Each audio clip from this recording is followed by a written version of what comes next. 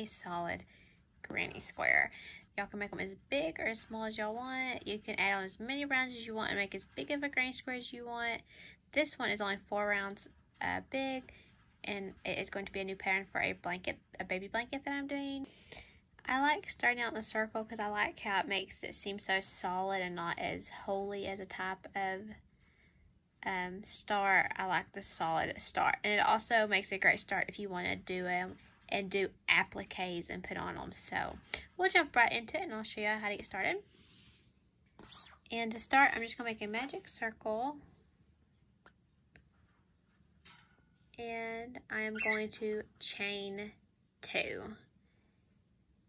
Okay, this chain two will not count as a stitch, so just keep that in mind. This is not a stitch.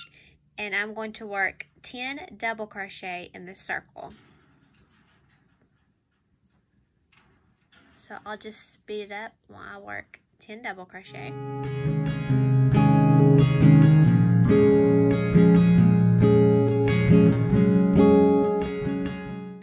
Okay, and when you have your 10 double crochet in your magic circle, remember you're not counting this chain two, so don't count it as a stitch. But after you do that, you're to grab the tail and you're going to pull it tight in the middle and we're to slip stitch into our very first double crochet.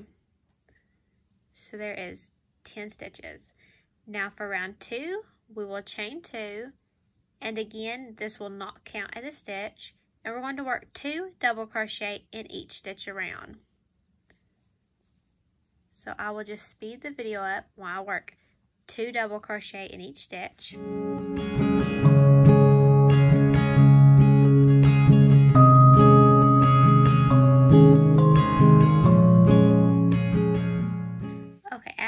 After two double crochet in each stitch around, you're going to slip stitch into the first double crochet, not the chain two, make sure it's the double crochet.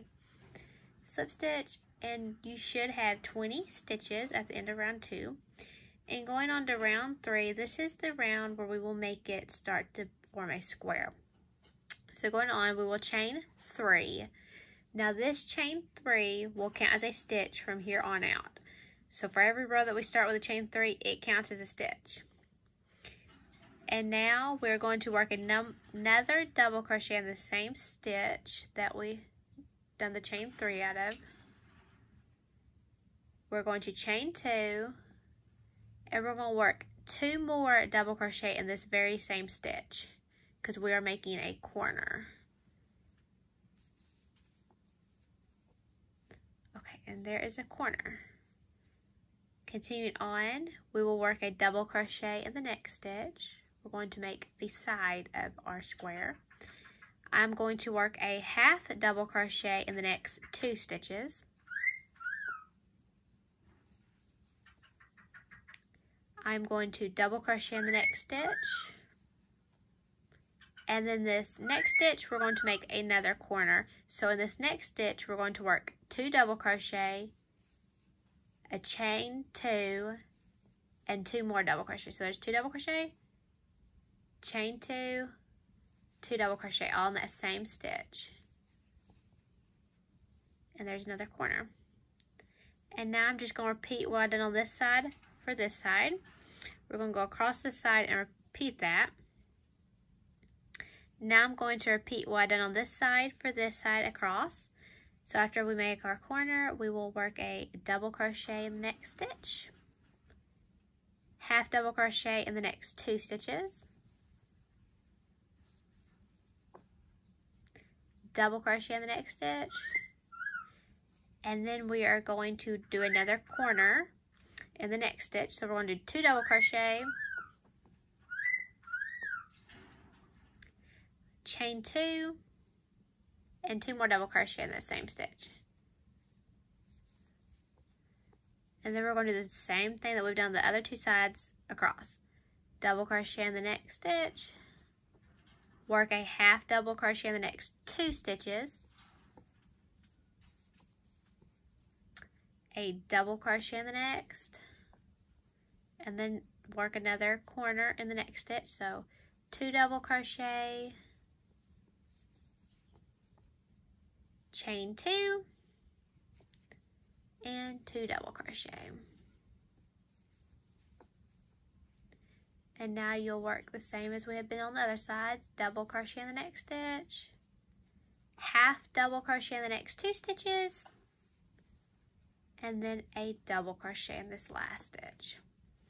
And then we will slip stitch into the top of our chain three because it counts as a double crochet. And that is the end of round three. Okay, going on to round four, we're going to slip stitch in this next stitch and then slip stitch in the corner space. So now we're going to chain three and this counts as a double crochet.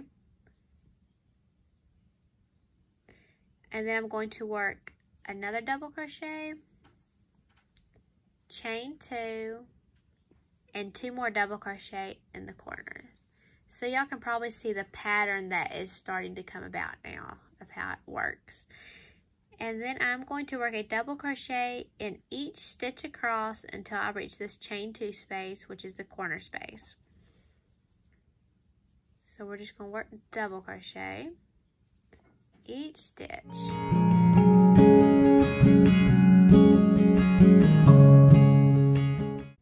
And then when you reach your chain two corner space, you're going to work two double crochet,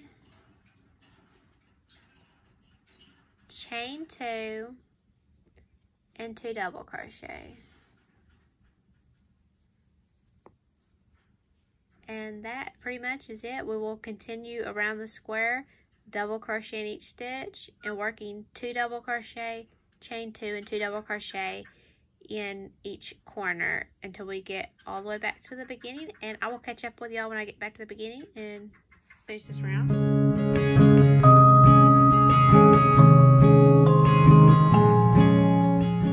Okay, so when you reach the very end of round four, you will simply slip stitch into the top of that chain three.